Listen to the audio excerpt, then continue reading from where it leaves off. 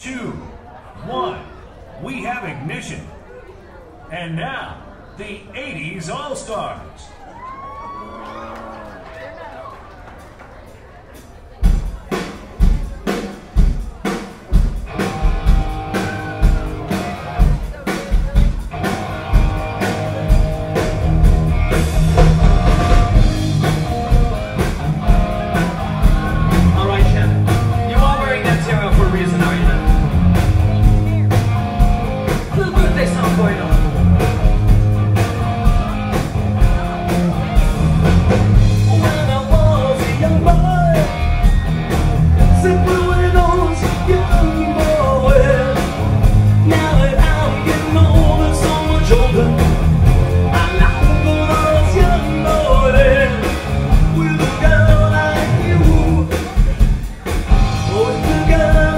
you